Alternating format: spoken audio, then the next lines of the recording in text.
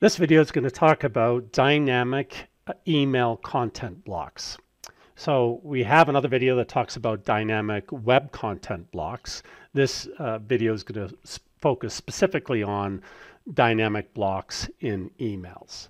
So the, the concepts are identical, where it's basically we have a piece of content that we want to basically uh, adapt to uh, a, specific context. And the context here is going to be related to a recipient of a specific email. And there's lots of examples for this. Like, for example, uh, let's say I have a, uh, a, specific footer or something like that that's related to a uh, favored location, or maybe I have an offer that I'm going to embed on all my emails, but the, the offer is going to vary based on uh, based on the location, or maybe I want to abstract the offer from my emails and I just go in and update the offer once in a while. Then any emails that go out are, uh, this is all basically abstracted from it. So that's sort of the concept. But uh, really, it's this layering of content uh, with a dynamic content block for emails that's uh, really the solution.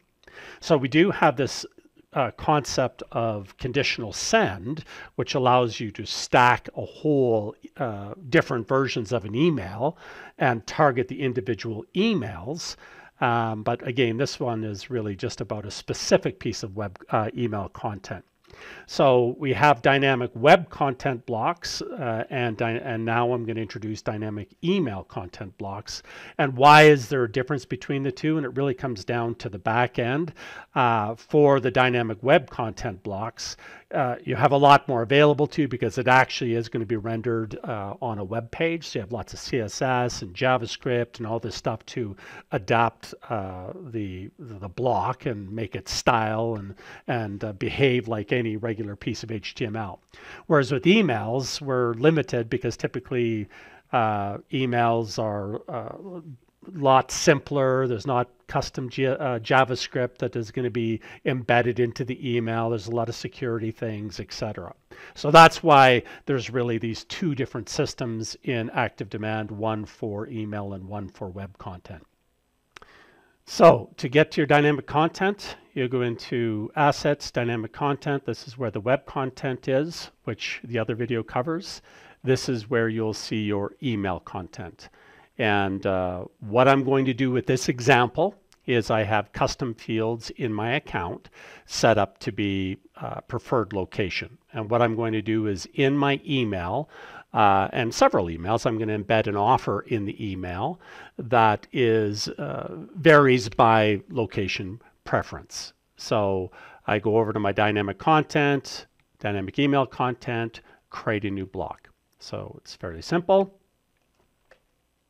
Now, the builder that you're presented here with is actually the same builder as the email builder. So your content blocks, your uh, saved blocks, uh, rows, all of this stuff is uh, directly from and should reflect what's in the email builder. And the content, the styles, this type of stuff is all going to be related directly to uh, working with, with emails. So with this one, what I'm going to do is I'm going to embed an image, and the image is going to be my uh, offer.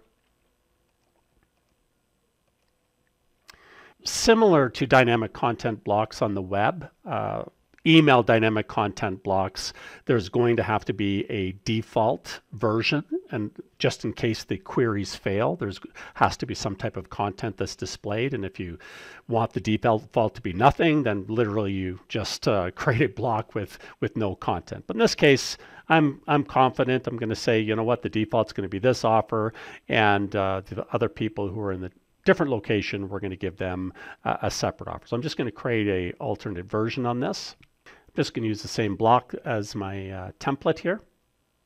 So now what I'm going to do is just get rid of this image and uh, basically embed another image.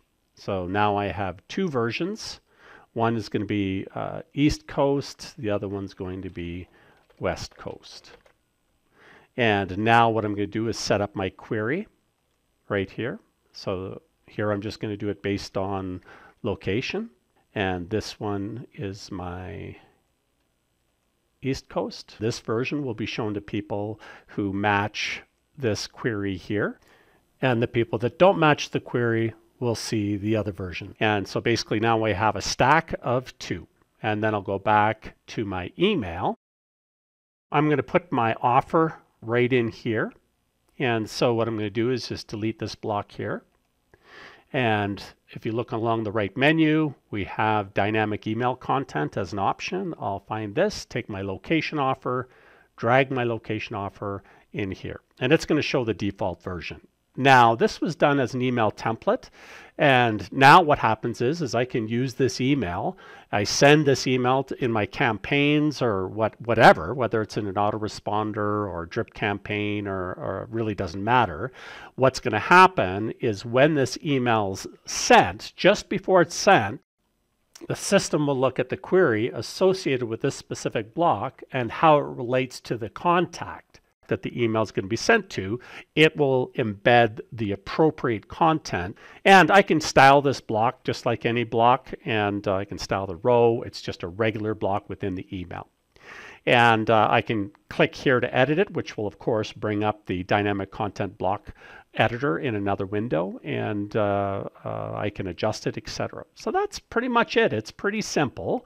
Is uh, I can take this uh, block and embed it in any of my emails, whether it's a footer or it's a, as you're seeing here, is a column, um, and really uh, we just let the system decide uh, who is going to see which version. So that's it. That's very simple. dynamic content blocks in e in emails.